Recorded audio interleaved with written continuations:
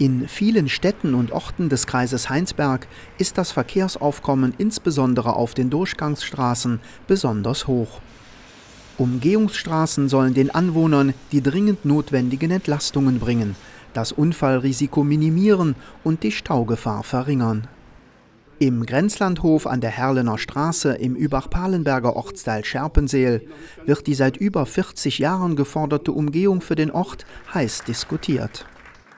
Ja, wir haben uns heute Abend hier zusammengefunden, um äh, die Wichtigkeit zu unterstreichen, dass die Scherpenseeler, die mit, mit 1000 Personen ungefähr in der Herlener Straße wohnen, dringend eine Umgehungsstraße brauchen. Alle anderen Gründe müssen wir im Moment hinten anstellen lassen. Die Menschen stehen für mich an erster Stelle. Zurzeit befahren täglich rund 12.000 bis 15.000 Fahrzeuge die Scherpenseeler Straßen. Nach Fertigstellung des Beutenrings auf niederländischer Seite werden es wohl rund 20.000 Fahrzeuge sein. Eine Ortsumgehung könnte das ändern, ist aber nicht unumstritten.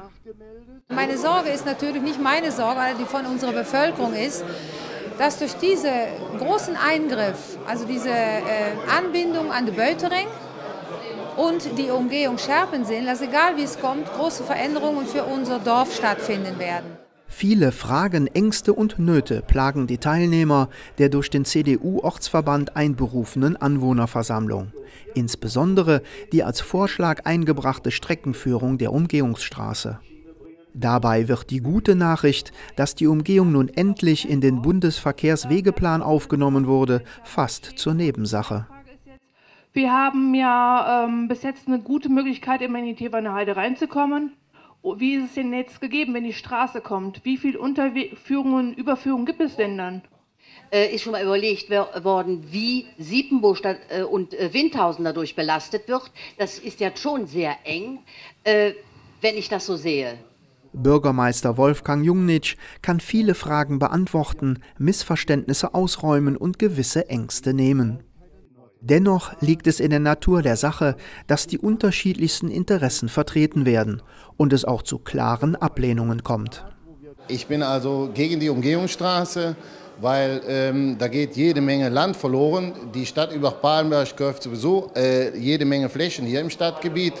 Und äh, eigentlich sind ja hier bei uns Existenzen gefährdet. Letztendlich sind hier noch vier, fünf Betriebe, die von der Landwirtschaft leben müssen, was mit dem Fall dann erledigt ist.